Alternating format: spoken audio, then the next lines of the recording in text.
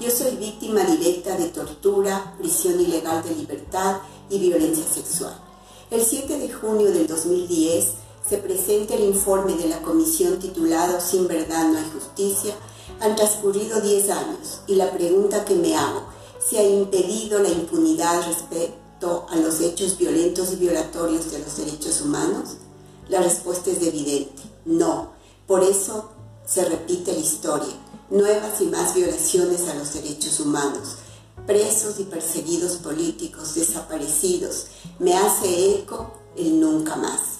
La Defensoría del Pueblo, como instancia responsable de la reparación inmaterial, realizó las acciones adecuadas y oportunas para que el Estado en su conjunto cumpla con la normativa de reparación integral.